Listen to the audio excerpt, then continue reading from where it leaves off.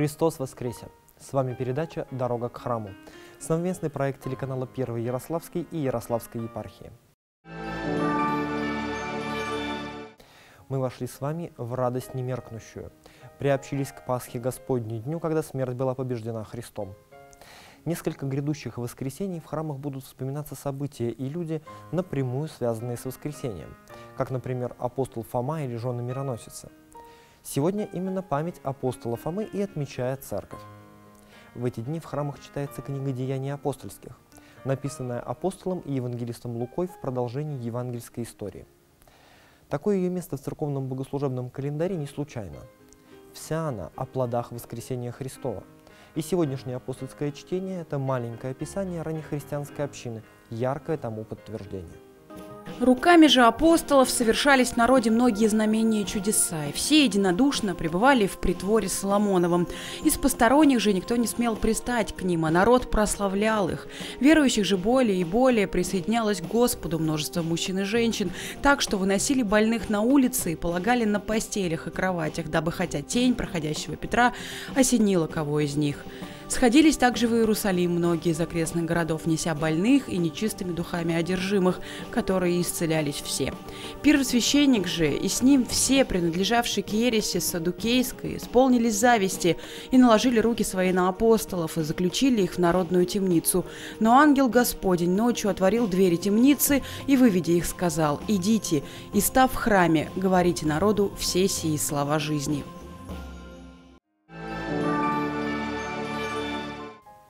Великое искушение назвать этот период жизни церкви ее золотым веком. Действительно, многих прельщали те силы проповеди и простота жизни, которые мы видим, обращаясь к новозаветным страницам. Многие построили подобные апостольские церкви, исходя из чистой, но зачастую наивной в плохом смысле этого слова веры. Подобные строители возвели по слову Христа дом на песке, не обратив внимания на его собственные слова, обращенные к апостолам. «Я говорю тебе, ты, Петр, и на сем камне я создам церковь мою, и врата ада не одолеют ее. И дам тебе ключи Царства Небесного. И что свяжешь на земле, то будет связано на небесах. И что разрешишь на земле, то будет разрешено на небесах. Это апостольское основание. Вот оно, настоящее крепкое основание Церкви Христовой. Мысль Христа проста. От них, от его прямых учеников и до последнего дня этого мира будет существовать Церковь, Никакие бури и волнения этого мира и сами силы адовы не сумеют ее уничтожить. Эта церковь и поныне жива, единая, святая, соборная, апостольская православная церковь, корабль которой за два прошедших, прошедших тысячелетия прошел через многие бури, но и до сего дня плывет, ведя людей к пристани спасения. В действительности же, церковь никогда не знает своего золотого века на земле, будучи вся устремлена к встрече с Отцом Небесным – и в век апостольский много было сложных, неприятных и откровенно кризисных моментов в ее истории, происходивших, важно, да, не от внешних врагов, но от внутреннего нестроения. Это естественно, так как церковь – богочеловеческий организм. И как Господь наш Иисус Христос неслиянно и нераздельно носил в себе два естества – божественное и человеческое, и божество его было бесстрастно – то человеческая его природа скорбела, радовалась, испытывала жажду, голод, усталость, боль и страх смерти. Так же и церковь живет и движется в Боге, но страдает по человеческой природе различными болезнями греха. Но это не останавливает Бога даровать не только ей, но через нее и всему миру свои обильные дары, которые прорываются в нашу действительность и прикровенно через обычных христиан, мирян или священников, которые молитвой – и делами милосердия творят волю Божию в мире, так и ярко сияют через светильники веры, великих святых, которыми не скудевает Церковь Христова до сего дня. И сейчас в ней, по слову апостола Луки, совершаются многие знамения и чудеса, исцеляются больные недугами душевными и телесными.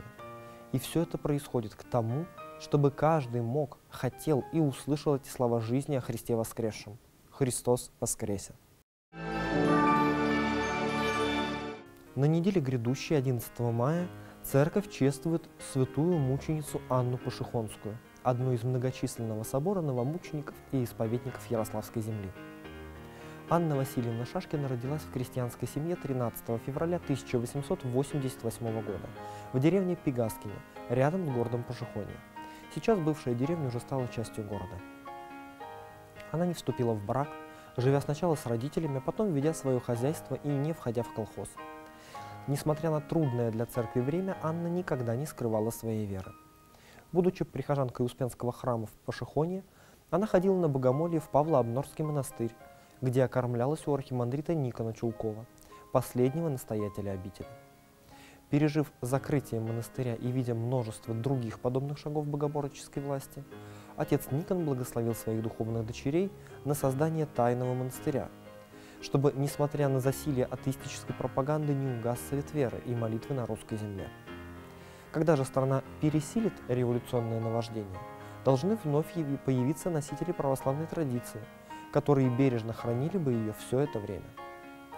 Руководствуясь данными соображениями и благословением отца Никона, несколько его духовных чад создали в деревне Захарьеве сельхозартель, выросшую за несколько лет с четырех организаторов до 104 человек. В нее не принимались мужчины из ярой феминистической позиции, заявленные участницами. В уставе они прописали, что организовывают предприятия для того, чтобы доказать мужчинам, что и без их содействия женщина может строить свою жизнь. Реально же насельницами тайного монастыря становились либо давшие обет безбрачия монахини, бежавшие из разоренных монастырей, либо просто верующие девушки, желавшие посвятить жизнь Богу. За 10 лет артель выросла в коммуну имени Крупской и стала третьим хозяйством на всесоюзном смотре колхозов коммун в 1927 году. Однако в 1931 году власти дознались до истинной сути коммуны, и многие сестры отправились отбывать сроки в лагеря. Одной из прихожанок такой тайной обители была и Анна, близко знакомая с председателем Анной Соловьевой.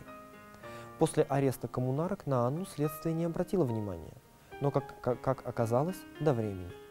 В 1936 году представители обновленческого раскола в Пашихоне обратились к властям с донесением о деятельности православной общины Успенского храма. Они писали, пользуясь приливом святочных празднеств, клевета и наушничество пошли во все села данного района – с призывом к бойкотированию всеми силами всех обновленческих служителей культа, совращая темные силы верою в святость Бога лишь Тихоновщину. Анна была одной из активных прихожанок, и по благословению отца Петра Богородского, также впоследствии претерпевшего гонение и смерть от рук мучителей, собирала подписи в своей деревне, в православный ли храм будут ходить жители или к обновленцам. 10 января 1937 года ее вызвали на допрос – Анна Васильевна объяснила, что в 1935 году умер сын ее брата, и приходской их священник, отец Петр, отказался участвовать в его погребении, указав, что жители этой деревни не принадлежат к православной общине. И пусть они сначала определятся. Именно потому-то она и собирала подписи, по которым деревня оказалась православной, а не обновленческой. На следующих допросах следователь спрашивал ее о знакомстве со старостой храма Алексеем Смирновым, о распространении им по прихожанам для чтения контрреволюционных протоколов сионских мудрецов Нилуса, о ее контакте с архимандритом Никоном. 18 марта следователь снова вызвал Анну на допрос и заявил, «Вам предъявлено постановление о привлечении вас в качестве обвиняемой в преступлении, предусмотренной 58 статьей. Обстоятельства преступления изложены в подписанном вами постановлении. Признаете ли вы себя виновной в этом?» Признаю, что я имела связь со Смирновым, несколько раз посещала его дом, а также часто вместе ходили в церковь. Книгу Нилуса «Протоколом сионских мудрецов» я у Смирнова видела, но читала ее Гудкова, которая мне рассказывала ее содержание, но контрреволюционных слухов я среди населения не распространяла. Никаких вопросов о войне, о победе фашизма, о восстановлении в СССР капиталистического строя и так далее, мы ни со Смирновым, ни с Гудковой не обсуждали. Богородского я знаю как священника, и действительно по его заданию я собирала подписи за Тихоновскую церковь, но никого не запугивала. Подписывались все добровольно. Архимандрита Павловского монастыря Никона я знаю. Бывало несколько раз у него в монастыре, когда он был еще открыт. В 1924 году отец Никон был в городе Пашихония, был в нашем доме, а после закрытия монастыря с ним я связи не имею и где он не знаю. После еще нескольких допросов, где ей, кроме всего прочего, вменялось в вину посещения коммуны Крупской, 15 августа 1937 года особым совещанием при НКВД Святая была приговорена к пяти годам заключения в исправительно-трудовом лагере и была отправлена с первым этапом в северо-восточные лагеря НКВД.